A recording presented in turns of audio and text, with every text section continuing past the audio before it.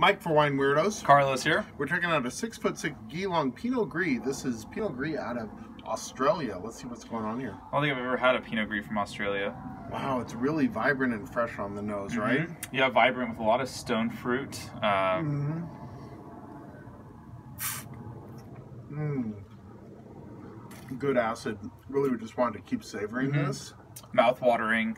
Absolutely, really. This, the finish isn't too sweet, but it's just enough to kind of keep you going, like a Yeah, like a candy or something like that. I agree, but there's definitely like kind of a bitterness to it as Mhm. well. I think Sauvignon Blanc fans would enjoy this. Good- Yeah. If you if you told me this is Sauvignon Blanc, I'd believe you. Yeah, I could see that. Good Pinot Gris out of Australia. We'll be back with more on Wine Weirdos. Cheers. Cheers.